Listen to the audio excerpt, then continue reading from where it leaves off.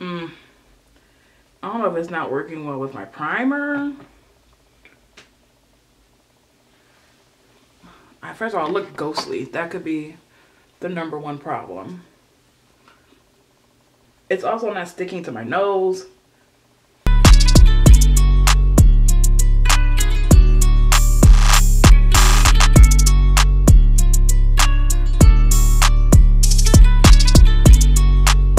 Y'all. It's your girl Bri Dupre and I'm back with another video. I don't know what's going on with my background so you know what? Today has been a really stressful day and at this point it just is what it is. I'm not gonna keep I've had enough. It's only 1:30 in the afternoon and I've literally had enough. Today though we are not here to talk about annoyances hopefully. We are here to talk about the new KVD Good Apple Foundation. I bought the shade Light 021 and I'm kind of nervous because I saw someone who I think is lighter than me wear a darker shade and it was her perfect match. So I hope it matches me. We're gonna find out together. Um, I, you guys will see this foundation again in a full face of first impressions even though it's really not gonna be, it's gonna be a second impression, but I'm gonna use that with a new primer that I got because I decided today for this review I wanted to use products that I already know work for me. Um, that way if something happens it's not the other products it will specifically be the foundation.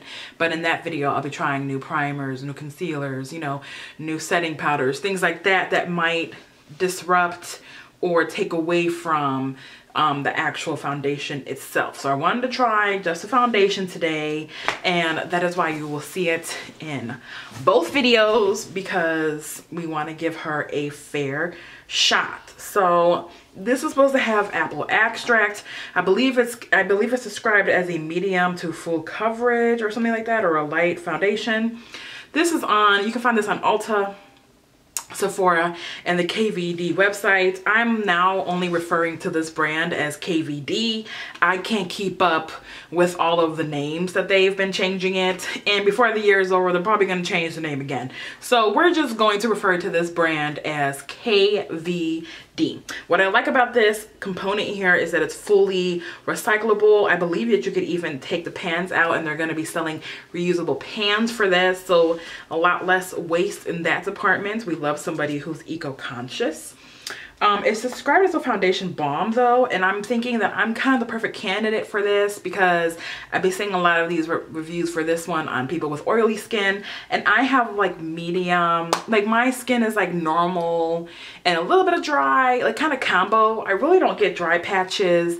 I get a little bit oily here, sometimes not really, and if it's been a really long day, I'll get a little bit oily here, but not really. Nothing that I require like a mattifying, I don't even think I own, I think I own like two mattifying primers and I, I like haven't used them. So what I'm going to do today is prime with things that I would normally prime with.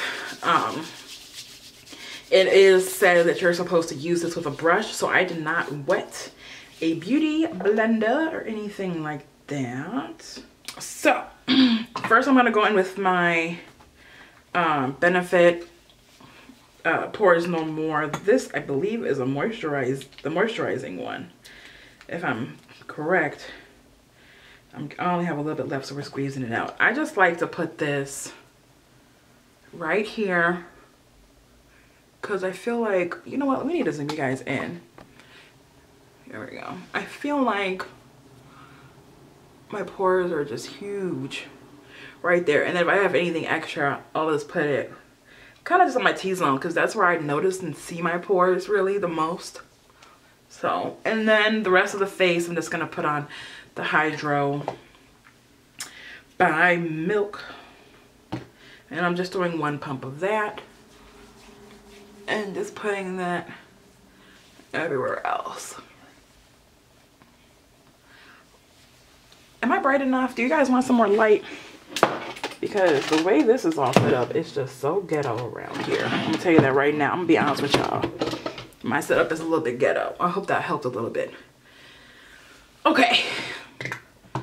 I'm going to use a foundation brush, obviously, but what brush do I want to use? I kind of want, I wish I had that Kat V brush. I tried to find it. Ulta definitely doesn't sell it. So I'm just going to use this dense. This is a Morphe M444 brush. I think I'm just going to use that. I don't know. I kind of like, but this one's really dirty. So yeah, we're just to use this Morphe brush. And I'm just going to dip in here and like let's see what happens. Should i get a mirror? Do i need a mirror? All right here we go. Ooh, maybe she might be a little light. She might be a little light. She might be a little light but that coverage is crazy right off the bat. Yeah i might have to get a darker one but at least we know look at how it's spreading though wow Yeah, I might need a darker one. I can see all my hairs and everything.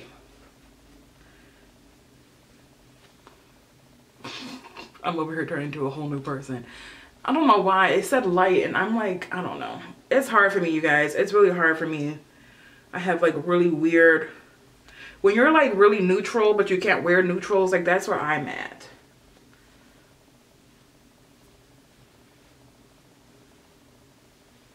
I don't know why it wouldn't work with a sponge. Maybe I should have wet a sponge so we could see.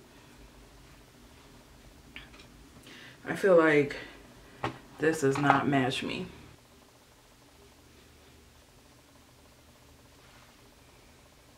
I don't know. It's got such good reviews, but everybody's using, the reviews that I've seen, everybody's using the same brush. And it's the Kat Von D brush.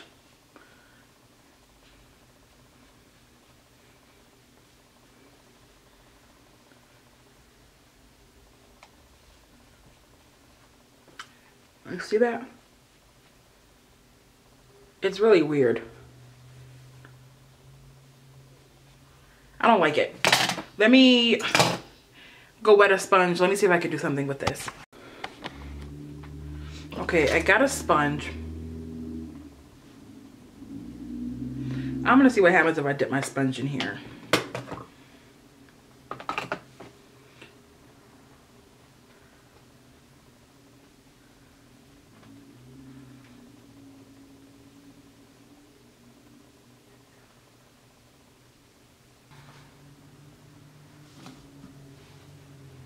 Okay.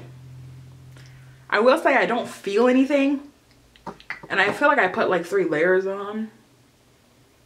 I just don't think this is my, this is just not my favorite. Um, maybe we will have to try it. Maybe let me try it with like a more moisturizing primer or something like that. But as of right now, or like maybe I'll get my, I'll exchange it for a darker shade and we'll see how that goes. But as of right now, I am just not seeing the hype that everyone is talking about. Um, I will say that I kind of got it to blend in with my skin. But let me go ahead and zoom you guys up and just show you how terrible this is making my skin look. So it's just emph emphasizing everything. And if you look here, you can literally see all of my peach fuzz it's worse over here on this side, like over here. Um, all of my texture is emphasized. Even on my nose that I just exfoliated last night. And just look at how absolute crepey this is. When I touch my skin, it doesn't feel like anything. It definitely isn't transfer proof. Look at that. I lightly touched my skin. I went like this, look. And look at that.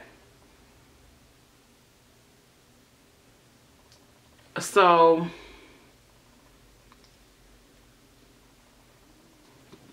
I'm not a fan. I don't know if you guys can see it or not, but I was feeling a little down on myself because of the current state of this foundation. So we have blue mascara on. It's just the L'Oreal Voluminous Blue Mascara. So we're going to try to not look crazy, I'm gonna go in with my little baby here. Um, the ABH Dewy Spray to try and save us. I just don't want to get my mascara. So, mm, I will say after the spray and everything, it doesn't look that bad. I am going to be um, exchanging this. I think I'm going to go two shades darker at least because I think because it was so light, it was emphasizing everything and making me look kind of crepey and old and and just like not very healthy. So I think maybe if I get my color, um, so that's what we'll do. I'll go to the store tomorrow or something. I'll exchange it for a different shade. And then when you guys see my full face of first impressions, we will be using the new shade. So I will put down in the description box how this wears for the rest of the time that I'm observing me wearing it. Um, I do have a friend coming over in three and a half hours and we're gonna hang out. So I'm gonna be wearing it um, for the evening uh, so you know i'll be able to let you guys know down below how it wore until i'll try not to touch my face as much. And most time when i'm at home i don't really care because nobody sees me. But i'll try not to just so i can give you guys the best review that i can. Right now for me it's about a five out of ten. I like the idea. I like the concept. I love the packaging. Um i just have some issues and hopefully at least three of those issues can be kind of uh exited out with the right shade. So subscribe if you want to see full face of first impressions, hopefully with the right shade of this foundation. And I do have some hauls coming up if they're not already up. Thank you so much for watching this Vishia. I hope it was somewhat at least educational. I would say inspiring, but it probably wasn't. I hope it was a little bit educational for you. Um, please don't forget to subscribe before you leave and I'll see you guys in the next one. Bye.